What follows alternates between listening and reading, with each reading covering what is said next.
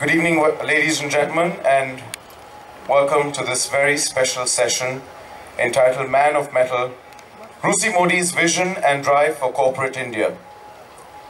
Much has been said, much has been written, much has been talked about this great legend of corporate India, about his management styles, and I think the greatest example that he has left behind over 50 years of his association with Tata Steel is the company Tata Steel, which he joined when it was Tata Iron and Steel Company Limited. He was known as the man of classes and the man of masses. He could very comfortably meet up with the monarchy, the prime ministers, presidents, the bureaucrats, and even drive down to the workers' colony in Jamshedpur, sit across on a charpoy, and chat with his workers, drive into the canteen and eat with them. That was his span.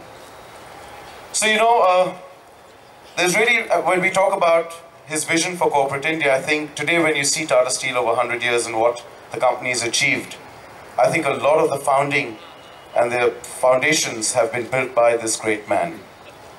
So what I thought this evening, instead of talking more about his corporate vision, is actually getting to know the man a little more intimately. What was it like? What, what did he do? What really drove him? What were really his characteristic traits?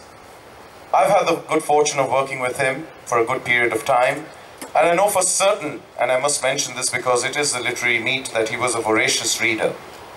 And one of the things that he always imbibed us to do was to read, and he would read a lot of biographies of great statesmen, leaders, uh, presidents, prime ministers. His favorite, of course, was Napoleon, and even had a portrait of Napoleon right in his private study. But ironically, uh, a couple of years before he passed away, uh, he was asked by his nephew, Jimmy Mody, how would you like to be remembered, Uncle Russi? And I quote what he said. He said, uh, when I go, yeah, he said, everyone thinks that I'm an extraordinary man. When I go, I want to be remembered as an extraordinary, extraordinarily ordinary man. And therefore, ladies and gentlemen, to share that extraordinary life of this very ordinary man, I'm extremely proud and privileged to have two of his very, very close friends, Mr. Naresh Kumar, who really needs no introduction, who I think met him when he was all of 12, sir, when you were playing tennis at South Club, and really has been through Mr. Mody not just as a friend, as a business partner, because Naresh Kumar and company and Tata Steel share and till date share a very close business relationship. And then not only I know for a fact that his family, his wife, his children, their children, the grandchildren, were more than a family to Mr. Kumar. So I think Mr. Kumar can really take us through a lot of the anecdotes, his personal life and traits that made this man who really dreamed of corporate India. And on my right is Mr. Utpal Chatterjee, who I met coming into Tata Center many years ago as a journalist to interview. And I know for certain that in his later part of life, Mr. Utpal Chatterjee became really what we know as family. At a time when Mr. Mody was unwell and couldn't move out, and there was any problem at home, the call would come to Mr. Chatterjee and he would be rushed to 5 Sialipo, and he would have to sit with Mr. Mody and convince him to eat and talk to him and cheer him up. So I think I couldn't have got a better panel this evening. So let us go back and let us share with them and let us understand from them what made this man one of India's greatest man managers, a legend that really drew the vision for corporate India and built a company such as Tata Steel. So I'd like to start, Mr. Kumar, with your first memories in association with Mr. Mody and some of the interesting uh, examples and uh, incidents that you can recall that brought out some of the traits and characteristics that made him such a great man. First of all, thank you for asking me. And uh, there was an exodus as soon as Jaya Bachchan left. Well, good, I'm not a film star. I'm just an ordinary tennis player. And it's great for me to hobnob with the literary world. And a galaxy of people have come. They're very good. Uh, yes, I know Russi from when I was, I think, 13 or 14. And we played a lot of tennis together. And uh, we had a friendship over 65 years. A long time. And during this time, uh, I got to know him very well. The things he did, the things he said, the way he acted, Uh, so what I'll try and tell you is that uh, I'll try and give you the incidents in our life from which you can derive what sort of a person he was, what was his character, and so on and so forth. Um, to start with, I'd say that uh, I remember him always saying that, you know, Naresh, there were three great Harrovians. There was Nehru, there was me, and, and there was Churchill. So Nehru and Churchill are dead, so I'm carrying the weight of the world on my shoulders. So he, of course, now no longer is with us, but he joked. But industry-wise, he wasn't far short of them. He was a great man and uh, a very versatile man. He had multi-facets to his personality. If you can imagine the things that he could do, uh, it's mind-boggling. I think it was in 65 that they had a film, BBC made a film on the, called The Money Makers. They were the five or six great industrialists of the world. Agnelli of uh, Italy, there was Harvey Johnson, there was Stanley Ho, Morita of Japan, and of course uh, our Tikra was there, Russi, bringing up the rear, I thought. So they produced these films and I saw them very, very repeatedly and carefully. And uh, well, that's the first time I think Russi won a gold medal. He was so far ahead of all these people. Uh, none of them had the tremendous versatility that he had. For instance, uh, uh who, who would know the various things he could do? Uh, he could uh, do card sharking, he could do card tricks, he could uh, play a round of golf, play tennis, go to Princess uh, nightclub, stay up till 3 and arrive in the morning fresh as a daisy. He could put away 16 egg omelets like nothing and drive for half an hour and say that uh, I can't drive on an empty stomach. He, used to, he had an incinerator in his stomach which would turn out all these calories and burn them. So there are many such incidents that happened in our lives and every time I learned something new from him. He, uh, I'm a little stuck as to where to start with now. Um, I think the best way to describe his personality personality is to tell us, tell you all about the things he could do. I've already told you about his playing tennis, golf, and also told you about what are the other things he could do and now, I'm, since my memory is bad, I'm 86 now, so you have to excuse me. I'm going to have a look at this.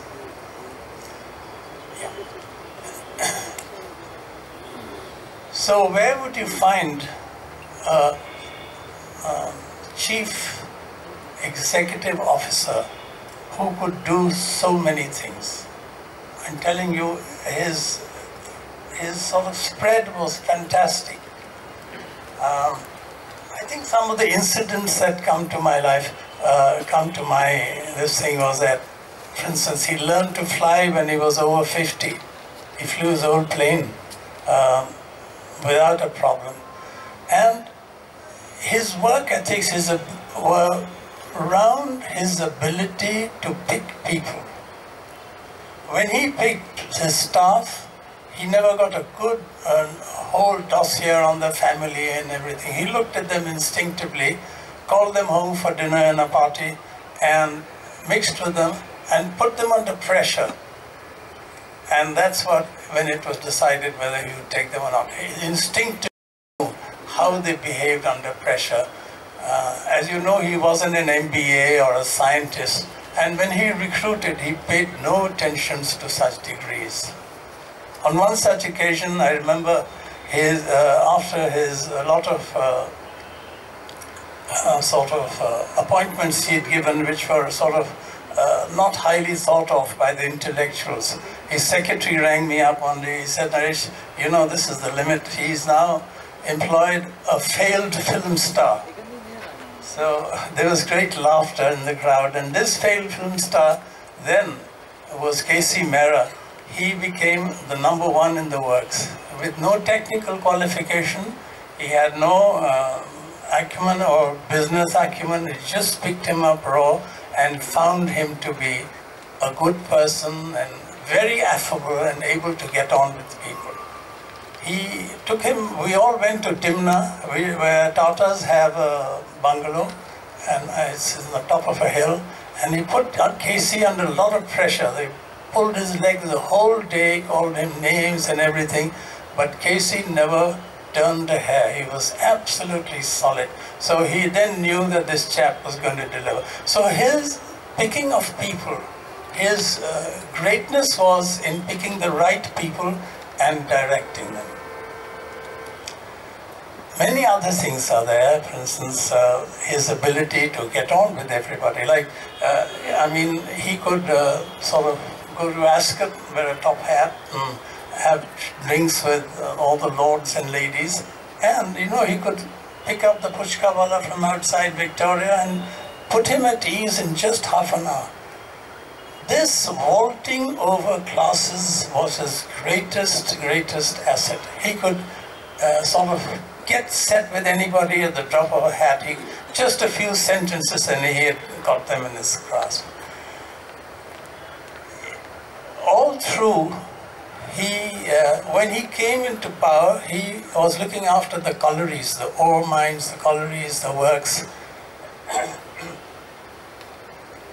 In the collieries and ore mines, they had thousands of people, and they're out in the wilds, there's nothing to do. So he concentrated on going there every weekend. And wherever he went, there was a party, uh, there was jollification. You know, music and joy was really embedded in his soul. He loved it. I mean, he was fantastic. He, he could sort of get even the flattest fellow up to doing wonderful things. So he used to go to the collieries and buck up these people. And he used to tell me that, why can't you get some players? And then this happened one day that uh, I managed to get a Wimbledon champion, Santana, and his uh, doubles partner, Arilla, to uh, Jamadoba to the, go and play at the collieries. You know, Federer like charge for two million for a day. But they didn't charge anything, so they were, they were fun. And so he took off on his plane from Jamshedpur, and when we were landing, he was piloting it he uh, sort of talked back to me and said, uh, can you see the ground? How far is it? So Santana and Arilla nearly fainted, saying, how is this chap can't see the ground and what's he doing?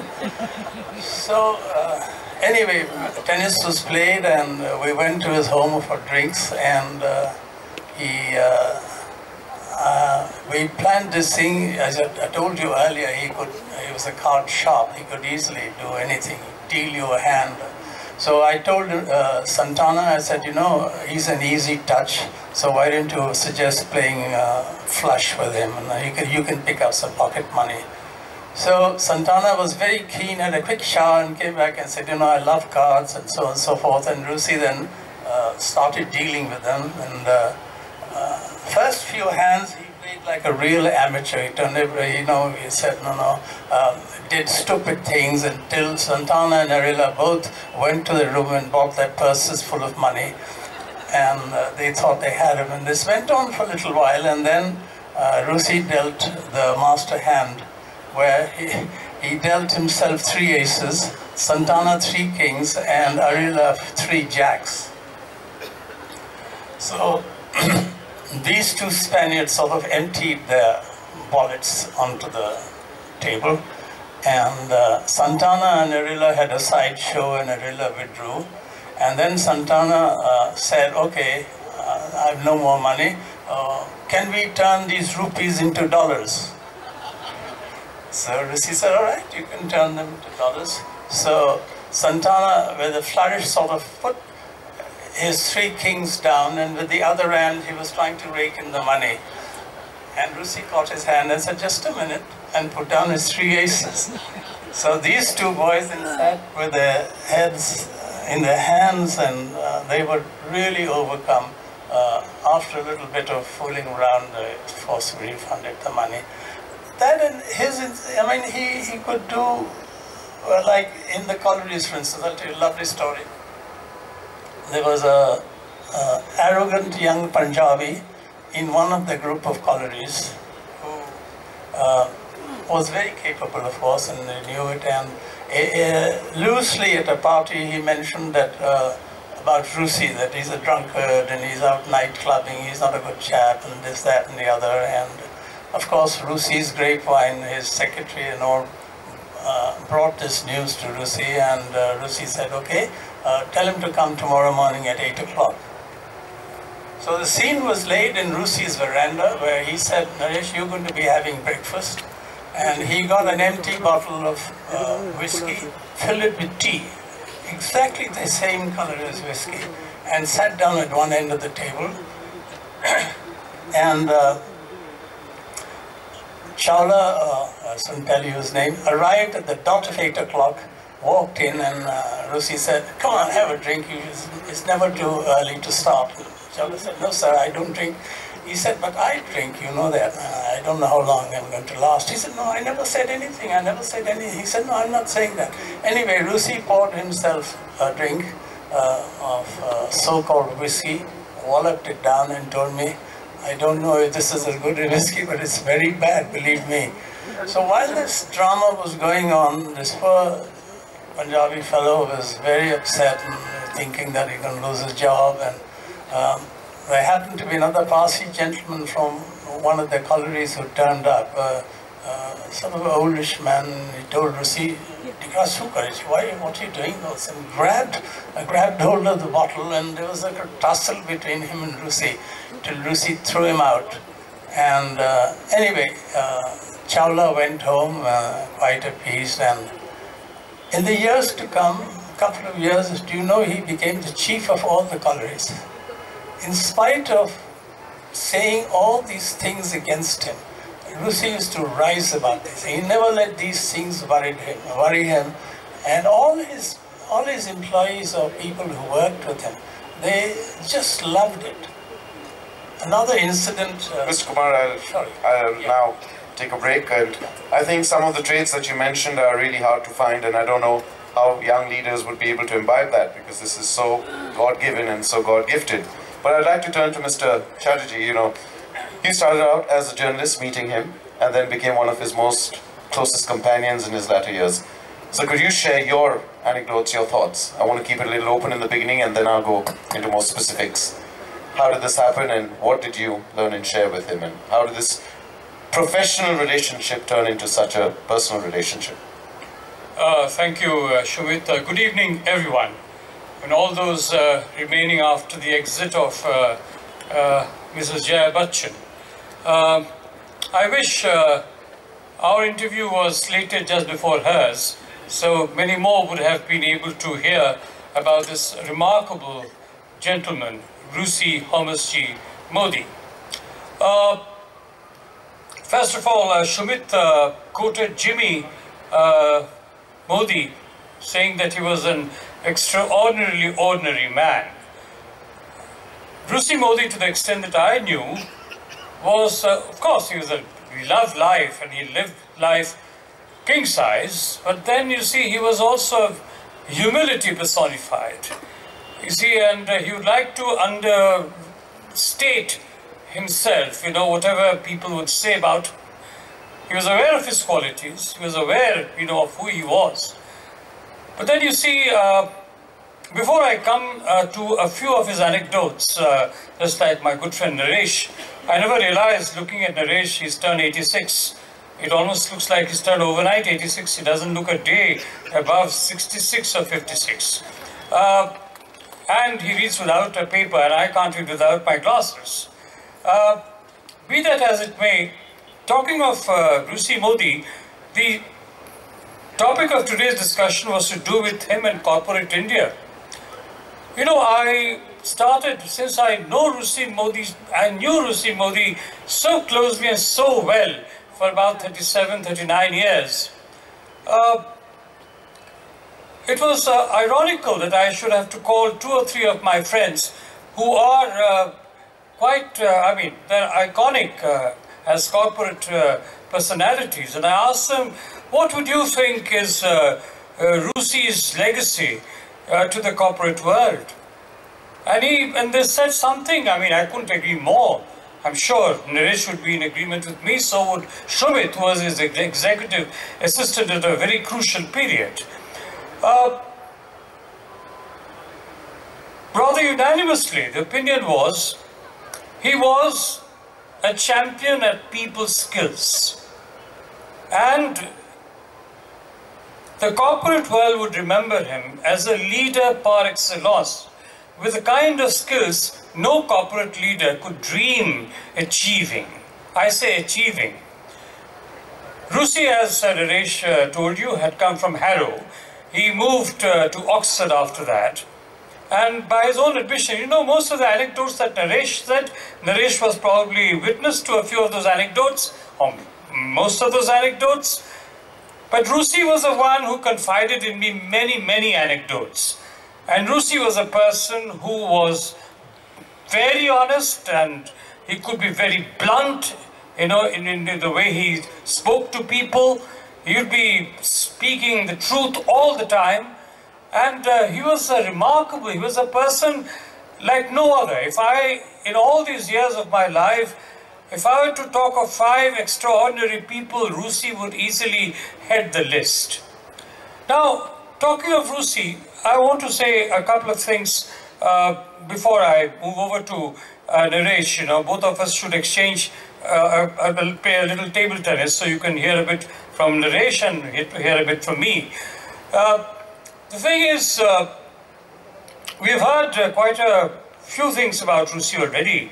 Uh, to show what a large-hearted, what a colorful, what a versatile human being he was.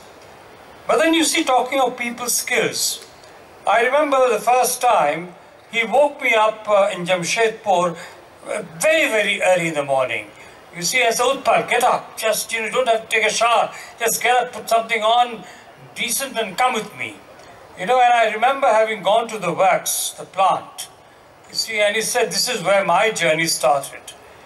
You see, his father, after he came out of Oxford, while he was in Oxford, you see, I mean, this business of Mr. Chawla, whoever he mentioned, talking of his late, uh, late night clubbing, etc. Well, I mean, of course, he was wrong. But then Russi had experienced that night clubbing based business while he was in Oxford because he spent more than his father could send him. So what he did was he had to cross over, go into France, and there he played in nightclubs. And that's how he got familiar with the songs of Edith Piaf the legendary French singer. And he would play the piano. You see, and he was, until the other day, he was, everybody was familiar with his, you know, wonderful, you know, hands were absolutely wonderful on the piano. I mean, he had learnt it very early and he would play and he would love to entertain. I mean, no matter who you were, if you asked for a number, he would be very generous, very large-hearted, he would play it for you. If you knew it, of course. And, and most of the popular numbers he knew. But then you see, I am thinking of something else also. When, he's when his father, and when he came back to India, his father, you know, I mean, Sir Homi Mody, uh, told him, you know, they discussed what he would do. They decided he would be in Tata Steel. And, uh, you know, when they're trying to work out a good position for him, an apt position for somebody who has studied at Harrow and at Oxford, well, what Russi told me was very simple. His father told him, you are going to start from the very bottom. So he said, Utpal, I'm not going to try and imitate the way Mr. Mody put it. May his soul rest in peace after all. So he said, Utpal, I started as a khalasi. He used the term khalasi. I worked with all the people on the floor. I knew them all by name. And I worked the hard way. But only when you start working with them from the grassroots, from the lowest level, would you, can you get prepared to climb higher and higher, take more and more responsibilities, you know, one period after another.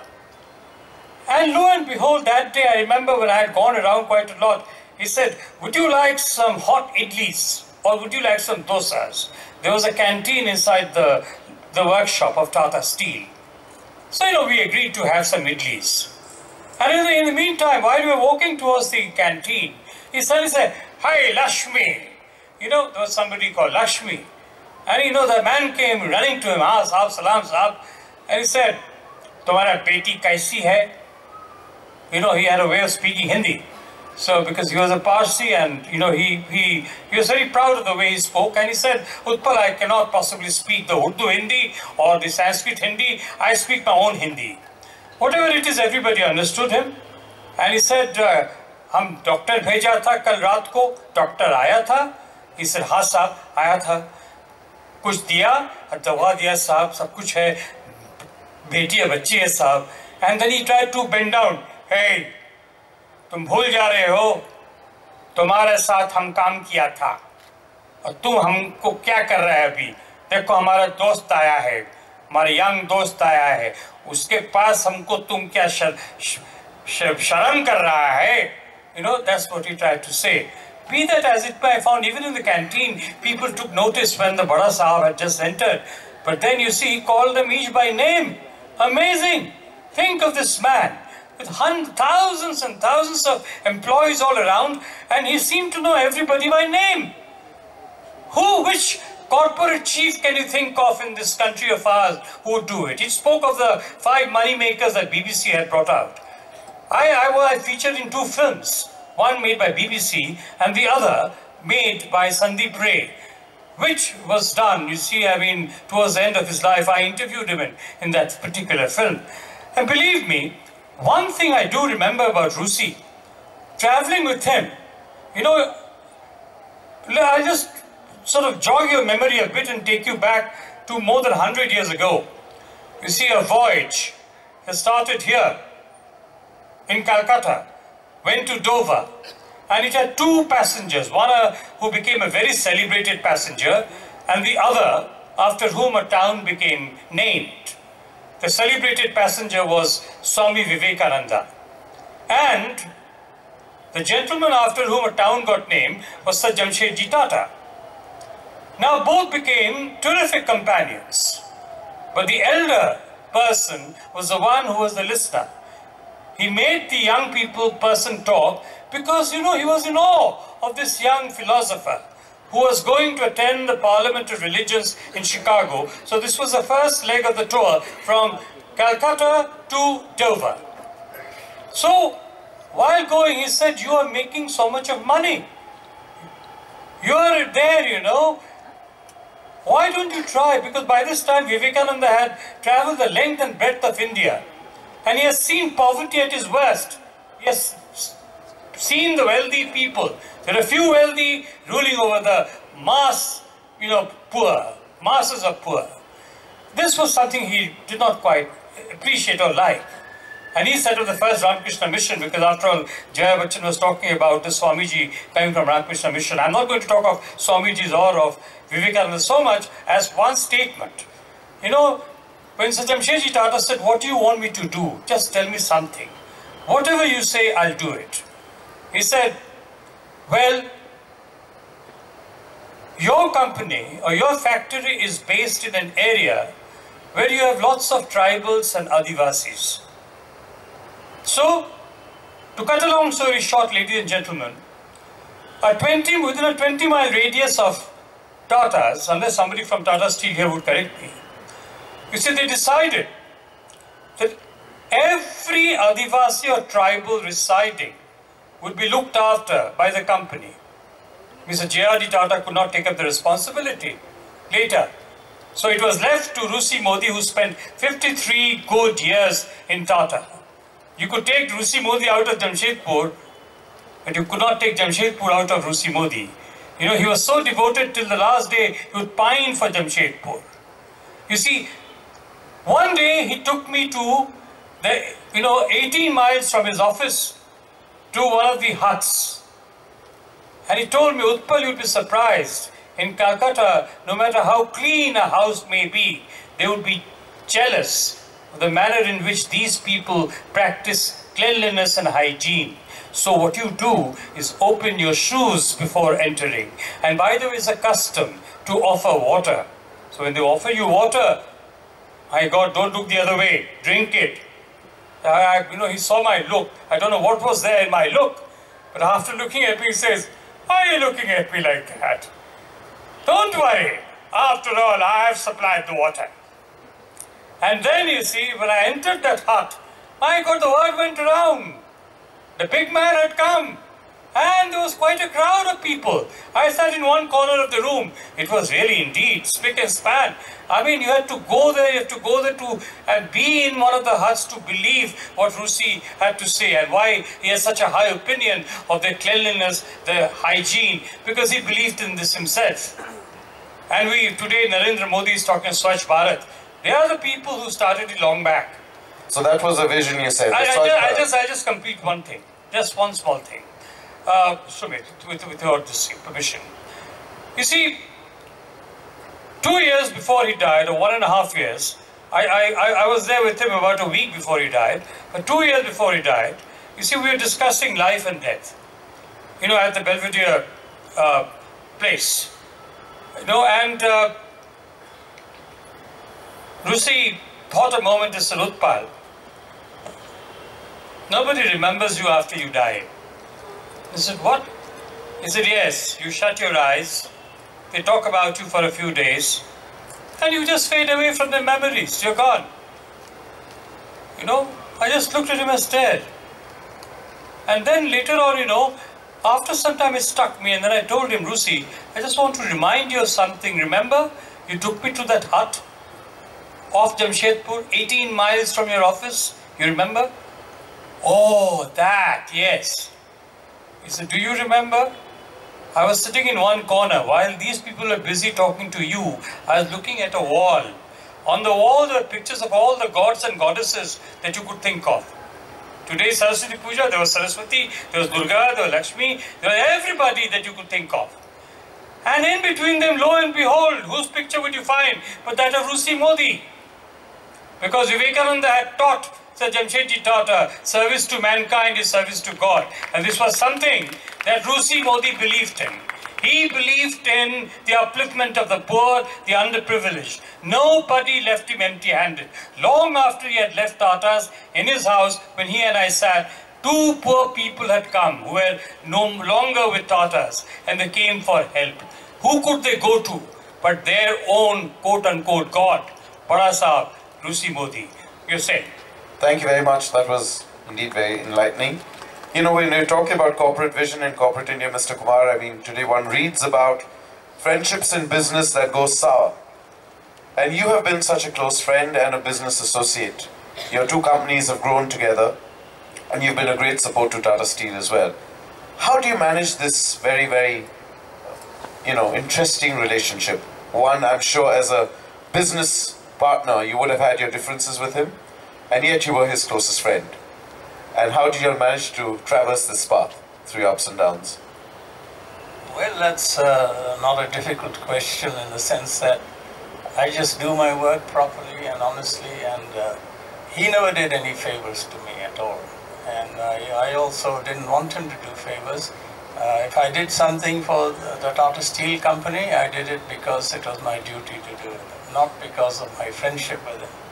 And I remember when we first started, uh, those days steel had a big premium, so if he could give me 10 wagons of steel, I could live for two years without any problem. But I never took anything like that. So I came up with ideas that helped them and helped me as well. Um, so it was a wonderful relationship and uh, funny, uh, when I started uh, sort of uh, work with them. I used to play tennis at the club, and I used to say, "Okay, let's uh, have a game." And he was a very great friend. Then it occurred to me that why don't I get some business from the Tatas? And uh, I felt a little guilty because I was playing with him with a motive. And, but soon I found that he was such good company. He was full of fun and frolic. He was one of the super gamesmen in, in sport. He, he could put in a word or two, and I remember playing uh, against Mahinder Singh, who was from Oxford and never left his Ox- uh, Oxford accent there, brought it here. And uh, we were having a close game, and he uh, said, Mahinder, do you mind? Let me know, how do you manage to keep up your accent? After which Mahinder just collapsed. Couldn't. So he was a great gamesman. Even in life, he was a gamesman, and he was very clever. And uh, I had no problems. Uh, in fact, I'm lucky that I enjoy many other such corporates who work with me, and I enjoy working with them. Thank you. Uh, Mr. Chatterjee, back to you. You know, you've spent a lot of time, and when he was post-retirement and he was no longer with Mobile or with Tata Steel, did he share his thoughts about Indian general and corporate India and his disappointments, or did he share companies or what he thought about future leaders? Would you be able to share something with us on that? Yes, I would, uh, but uh, two things, Shumit. I mean, on condition, two Yeah. things, which Naresh, my friend, my elder friend, would surely agree with. Uh, number one, Russi was a person who believed in values. When you talk about the corporate this thing, you see everything was based on values.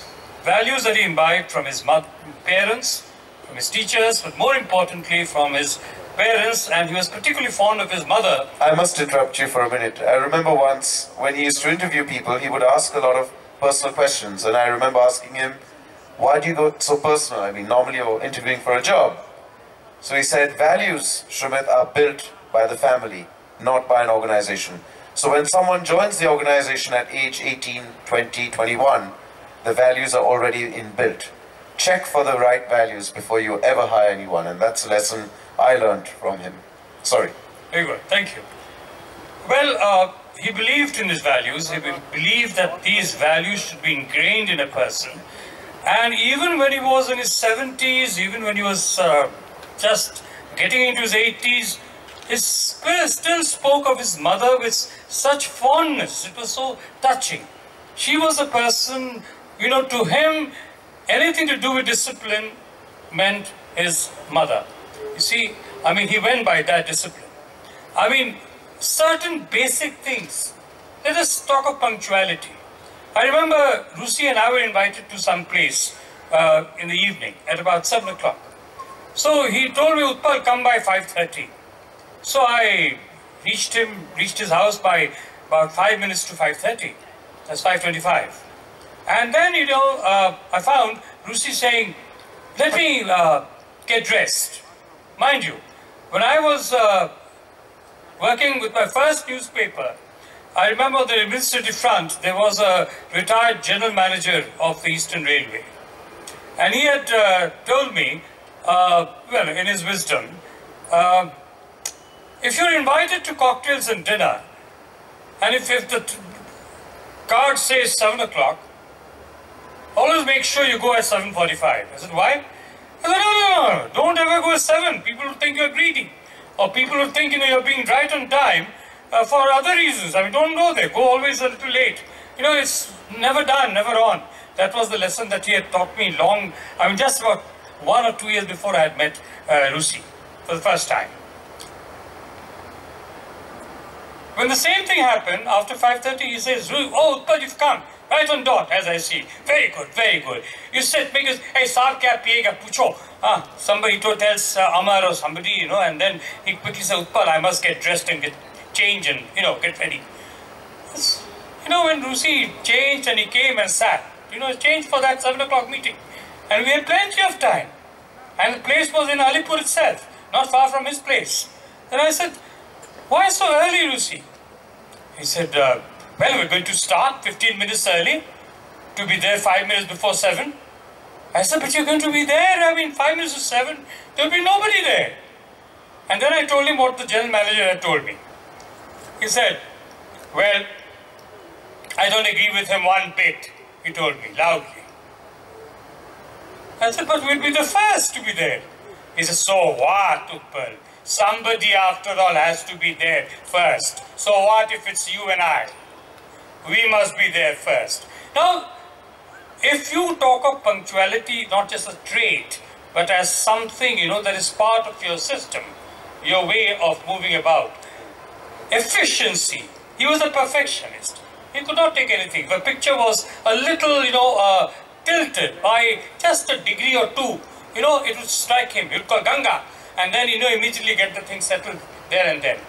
In everything he expected what he would do himself. So something by example, he would lead by example. Absolutely, he would lead by example, whatever the case may be. And second thing, if anybody went there with a complaint or whatever, he would check whether he was right or wrong. And he would attack the problem immediately and solve it that very day. Finished. He would not let anything wait or anything pending. No procrastination. Nothing would be pending. Mr. Kumar, you know, uh, I know that character building was very important to him. And I remember the time when we were young officers of Tata Steel, extracurricular activities were very important, which I don't see in most corporates today. If you tell your boss you're leaving at 6 o'clock today, you want to go and play, or you have some other extracurriculars, you're actually frowned upon, if I may make that statement in a public forum. But he kind of encouraged that, and we actually learned a lot. Sports meant a lot to him. So, would you like to share whether this, how this came about, and why he felt that way, and why was character building he felt was so important through sports and extracurricular activities, what would make an all-rounded manager? Yeah, well, I think oh, most of us know the great advantages that sport can give you and how it helps you in becoming an all-round person. And he himself was a very sporting fellow. So this brings me to one of my best stories about him, short. Uh, and, uh, you know, um, when he was in charge of the office here, he used to steal away on Wednesday afternoons to play tennis at the South Club. And that was one of the playing days. And uh, Sir Jahangir Gandhi, who was then the boss of Jamshedpur and his, his sort of immediate superior, uh, didn't like this uh, habit of his of sneaking away from office. So uh, he, uh, he decided to come and check up on Russi one day, and it was Wednesday, which is a playing day at the club. And uh, uh, everyone advised Russi that don't go and play today because he's going to check up on you in the afternoon. So he said, doesn't matter, I know what to do. He called his, both his secretaries and in his uh, diary he wrote TPTCSC meeting. So uh, uh, his uh, Rajan said that, sir, what is this? He said, just tell him that I've gone to a TPTCSC meeting. He won't ask you anything more. So it meant to play tennis at the Calcutta South Club. and so uh, Sir stormed into his room, found it empty, and called Rajan, where is he, where is he? He said, sir, he's gone to TPTCSC meeting. Okay, that's fine. so this, this is the sort of trick he used to play, uh, and uh, very, very subtle very nice. Oh, wonderful. Uh, in fact, I'll have to keep uh, note of time, and I obviously want the audience to ask both of you some questions. So I'll kind of wrap up. Uh, no, I have one more question to finish. In your close associations, what is the one thing, one most important thing that you have learned with your association with Mr. Russi Mody? Mr. Kumar, to you first. One very important that you'd like to share with the audience. As a youngster, I was uh, brought up with very strict religious background, and uh, he loosened me up, and I was a square. I mean, he said to tolerate people and don't uh, take an opinion. I won't walk here. I won't do this. He says, don't form an opinion. And uh, he uh, he was so accommodating with everybody. His, uh, of course, as you mentioned time and again, his greatest contribution was uh, when I watched him to see how he related to the people of low stature. Uh, he's already pointed that out. But uh, he had an extraordinary talent and one quick story I'll tell you, coming back from a cricket match, in a third class compartment, there was a fellow sitting next to him and Russi talked to him and he said, what are you doing and so on and so forth. So he said, uh, हम जमशेदपुर जा रहे हैं कल सुबह रूसी मोदी से meeting है so ऋषि said, अच्छा कैसा आदमी है वो इसे थोड़ा पगला है लेकिन अच्छा आदमी है So next morning at 9:30, this this chap walked into Russi's office and fainted because he got the job. So. Mr. Chatterjee, one important thing that you learned of the many that you, I'm sure, have and has stood you in good stead. Well, um, remain conscientious, stick by your values, that, that you had imbibed. And uh, thankfully, he knew uh, our family, he knew about my father, he knew what family I came of. And uh, that endeared him uh, to me even more. But uh, while you were speaking of sports, Naresh was, and Naresh was himself a very good tennis player, as you know, all know. Uh, after all, he played with uh, Ramanathan Krishnan, who practically beat every player in the world at him in his time, excepting one, whom he mentioned. That was Manuel Santana. Manuel Santana played. You agree with me, uh, uh, Naresh? Now, you're talking about cricket. You know, he was talking about cricket on the way back, on the journey back. Now, you know, the late Pearson Surita, who was a cricket commentator among other things, was a person who was very upset with Russi Mody even in his dying days. Now, there was one person I found was very upset. And I, mind you, I put the phone on to Russi. There was no mobile in those days. So that, you know, they could make up. Somehow, you know, Russi, I told Russi about this. So I, I- Russi was prepared on the other end. Russi was then the, the, the, the penthouse of the Tata Center. So I said, what are you so upset about, Pearson? And Pearson said, oh, no, no, no, no, the way you speak, you know, I mean, this man is very strange. I said, what's so strange about him? Well, you know, he'll come in, and you don't know whether he's going to bowl, he'll just stare at you, keep staring at you. And then, you know, he'll just toss the ball in the air. Then I have to look in the air in the sky. The ball would go like that. A bowler. And then, you know, you know, it was coming right on my head. And I moved out because the ball would land on my head. And what do I find? It landed right on my middle stump. You know, and, and apparently that was no accident because Rusi did it once too often. He mastered this art and I asked him about it. He said, well, you know, it happens more often than not. You're right. You know, and then I said, you know, Pearson is very upset. You have got to make up with him. After all, the poor chap, you know, is going. He said, but when you go, just put him on to me. You know, and I put it on. He says, hello, Russi. He says, you're still thinking about that ball that bowled you? Russi says, you know, he said, Oh, that, you know, I can't get over that. So, for heaven's sake, you're getting over life. What is a cricket ball and a stump, for heaven's sake? That's the way he answered, blunt on his face. You see, be that as it may, here Russi was a person, I mean, very brief in one minute, had many, many, many qualities. If you were to narrate all the qualities along with the appropriate anecdotes, you know, you will take one full hour or one and a half, another one and a half hours. But it will be well worth the while of many people who are not here, and of course, worth the while of all those who are, you know, to hear a bit about Russi, they will learn a great deal, especially the young ones. You see, after all, you're talking of reading, talking of Napoleon Bonaparte. He was a person who spoke me at length, spoke at length why he considered Napoleon Bonaparte the first person who changed the course of European history. The second, in my opinion, was Mikhail Gorbachev, who brought the Iron Curtain down. But be that as it may, this man was into reading. He was never into computer. He was not into Googling. He never understood the computer, never understood anything. He never even handled the mobile phone. If, if a person says, साहब ये phone किए हैं, तो बोलो landline में phone करने. So that was it. It's as simple as that. He would just not compromise. That this was, uh, you know, in the last line, and I end with this, in Arms and the Man of George Bernard Shaw, you know, the hero is called Bluntschli. And the heroine, you know, when he once makes a final exit, you know, she says, What a man! Is he a man? That was George Bernard Shaw. To Russi Mody, I would say, What a man! Was he a man? He was more than a man. Thank you, Thank thank you very much. Uh, well, one could go on and on and on, and I don't know how much of his examples we will be able to imbibe and carry forward. Some of us have been fortunate enough. I can see some sitting in front, Kulvin, uh, Ibrahim, some of us who have worked very closely with him. I'm sure we've taken a lot, but I'd like to open the question now to the audience if they have anything in particular for Mr. Kumar.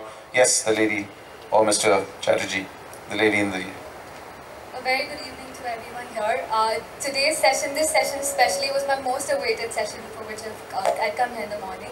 So, uh, so I aspire to be a part of the corporate world. Now, a lot of the, my advisors tell me that in today's world, it's extremely important that you network well. Networking skills are very important, but I hate forcing people to give me their, or even asking them for their email addresses. So, so how did Mr. Mody do this? I mean, when you say that he was good at people skills, what did he do to network? Who would like to take that? During his time, uh, this never had the impact that it has now, and it wasn't so important. And um, he he withdrew uh, really from this type of thing, and he, I don't think he would have liked it very much, and I don't know if he would handle it because uh, he wasn't so gadget-minded. Always someone did every, all the gadgets for him. So he would have to change a lot in, uh, if he were to live in today's world.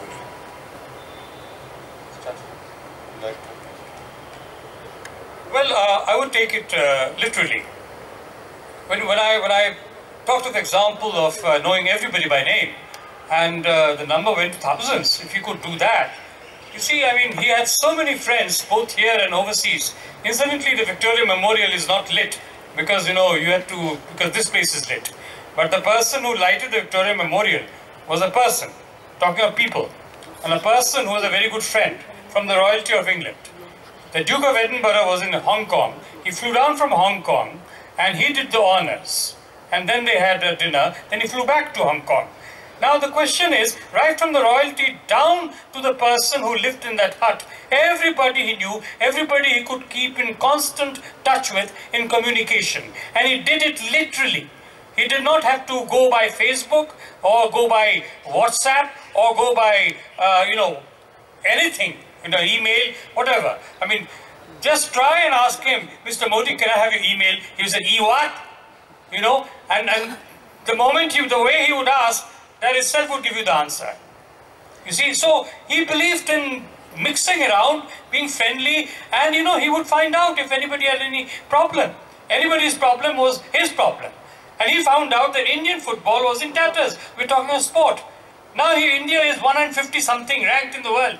He started Tata Football Academy, got the the, you know, the golden era footballers like Chuni Goswami, PK Banerjee, etc. to come and look after the Tata Football Academy. Later on, on his 89th, uh, you know, I mean, in 1989, he said, I remember watching the Sao Paulo, real Sao Paulo team playing in, in Jamshedpur. And for a chief guest, he had Princess Diana's father, late father, Earl Spencer, you know, I mean, out there.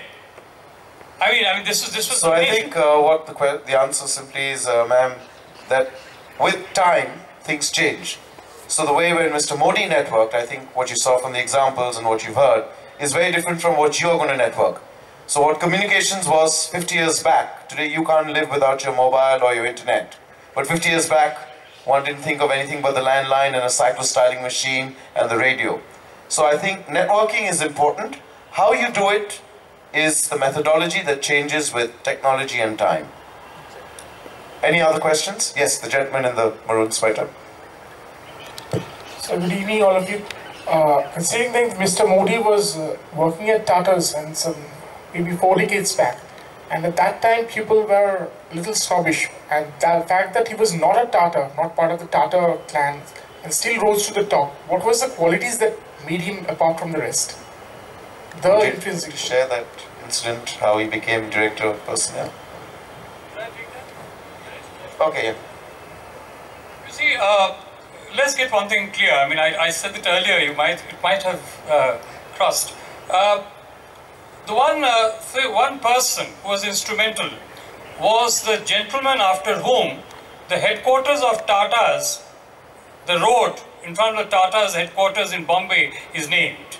It's called Sir Homi Mody Street. That's named after Russi Mody's father. He was very close to the Tatas. He was on the board of Tatas as well. And he really felt, looking at Russi and the way Russi was shaping, that you know he would make an excellent man person.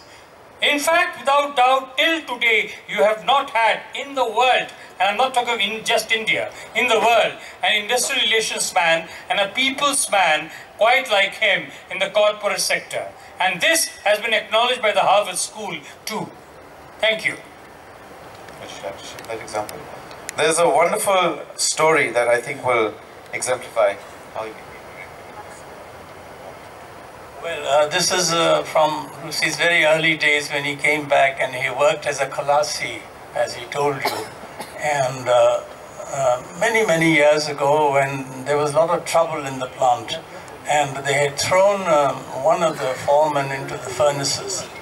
And Russi uh, was not aware of this, so he was walking into the works in his brief shorts and chappals going for work.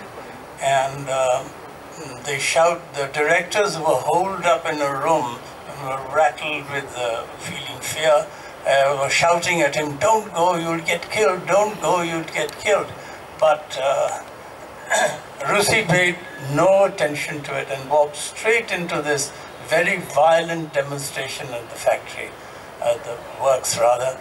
And uh, uh, the, the labor were taken aback because they were under the impression that they were going to come in and attack and so on and so forth. And here was Sir Homi Mody's son walking in uh, into all this trouble and sitting down on the road and saying, okay, what's the matter, let me know, and so on and so forth. And he wasn't attacked and he talked to them and cooled them down. And it was after this, Russi told me, that J.R.D. Tata made him director of personnel because of his ability to handle people and of his ability to communicate with everybody. That was his real, real strength, his ability to talk to everybody and bring them close.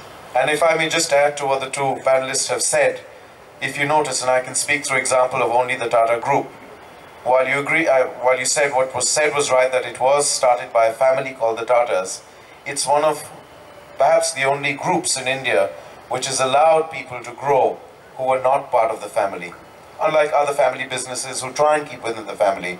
And that's why the Tatas are so differentiated and they are so unique. I think that's one, one great uh, achievement that this group has done. Uh, yes, I'll we'll end with this last question with the lady because we'll have to respect time. Good evening, sir. I work for Tata Steel and uh, I joined Tata Steel after the time uh, Mody, Mr. Mody was the MD. So I, yeah, uh, what I want to ask is, it's been many years since Mr. Mody was our MD, our chairman. Can you tell us two qualities that we need to carry on today to make us successful as people and as employees in a corporate? Two qualities. Yeah, there are many qualities you've spoken about. Each one of them is important.